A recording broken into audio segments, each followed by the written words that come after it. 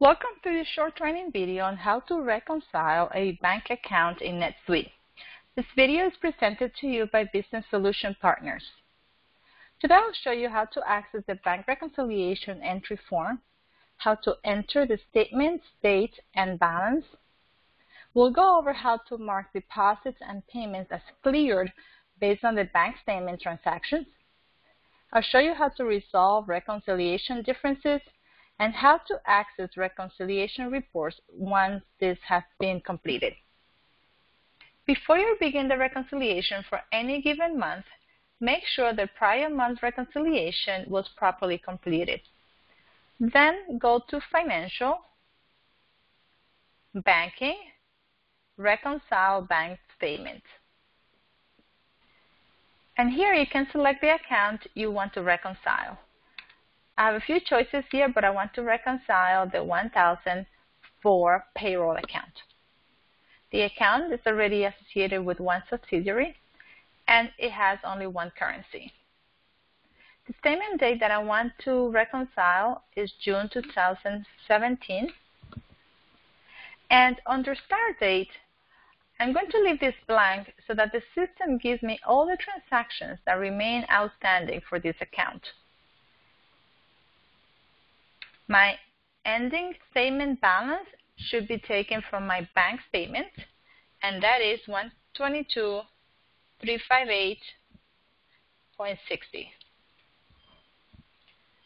Now I'm going to start selecting the transactions that I see on my bank statement.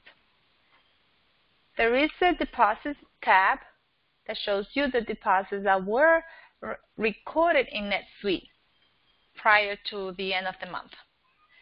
If I see this in my bank statement, I will check them off here. And both of my deposits cleared as of the end of the month.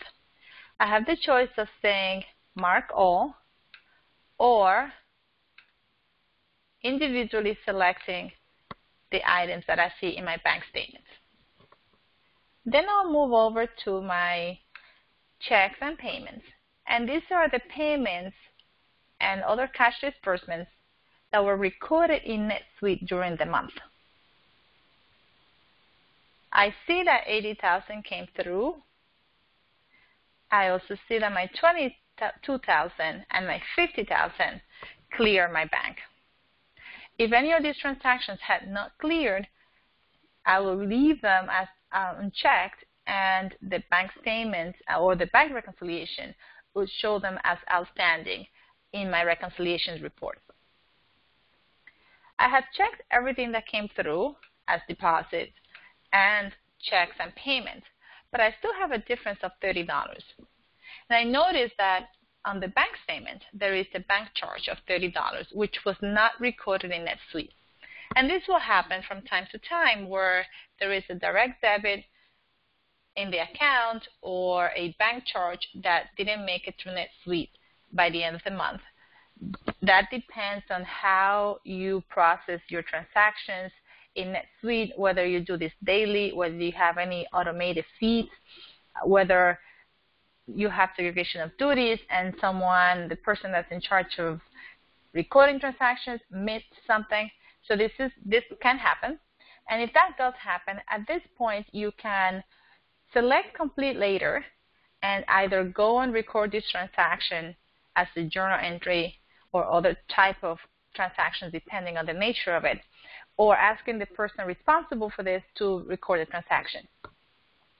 But sometimes the team member reconciling the bank account can't adjust this during the reconciliation process, and that's what I'm going to do now. So since I know this $30 is a bank charge, I will go to my new charges tab, and I'm going to create an adjustment for this $30. The date of this charge per the bank statement was June 30th. And the memo I'm going to use is wire transfer fee because that's what this was. The amount is $30. And the account I want this to go to is my bank service charges account. I'm going to select add. And you can see that my uh, $30 difference disappeared.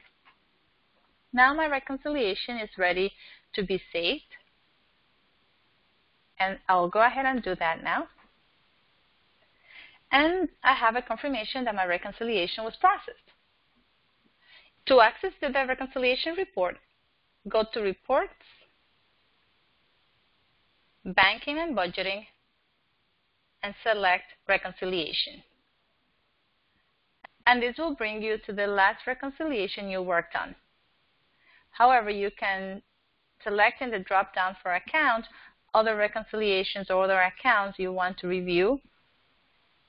And under the statement date, you can click on the drop-down to see other reconciliations that were prepared in previous months. So the next time you go to reconcile, let's say uh, July, you can come back here and review the June reconciliation, and you can see that the statement balance for June was 122,358 and 60 cents, and that that was the reconciled balance, and that there were no differences and not outstanding items. And then you can begin the July reconciliation the same way I showed you at the beginning of the video. We hope you found this video useful. If you have any questions about any of the features described in the video or need training or support with NetSuite modules or transactions, please contact Business Solution Partners at the email or phone number on the screen. Business Solution Partners is a NetSuite partner and a management and consulting firm specializing in cloud-based system implementations.